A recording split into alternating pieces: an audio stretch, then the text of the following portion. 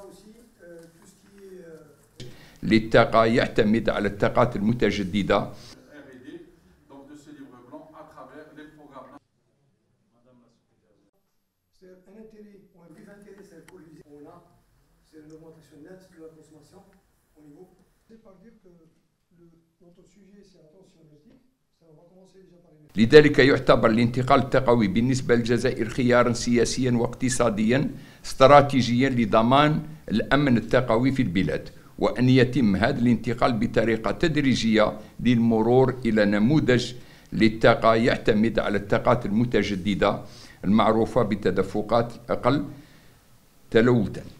السيدات والسادة. إنه وفي مواجهة هذه الانشغالات تم إعداد هذا الكتاب الأبيض لتطوير رؤية استراتيجية قطاعية مشتركة تتعلق بالانتقال والأمن التقويين من خلال رؤية استشرافية 2020-2030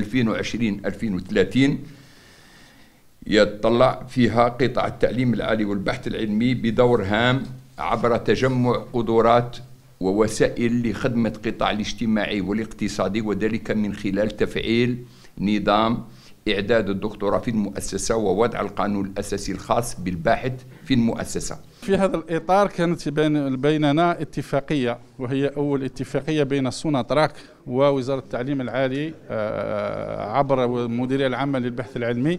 هذه الاتفاقية هي اتفاقية إطار لكي نرافق سوناتراك في تطوير نماذج جديدة وتطوير يعني آه، استغلال كل الطاقات المتواجدة في الجزائر ومرافقة آه، بالباحثين وبالمنشآت سوناتراك في رفع من مستواها التثميني لمنتجاتها الطاقوية.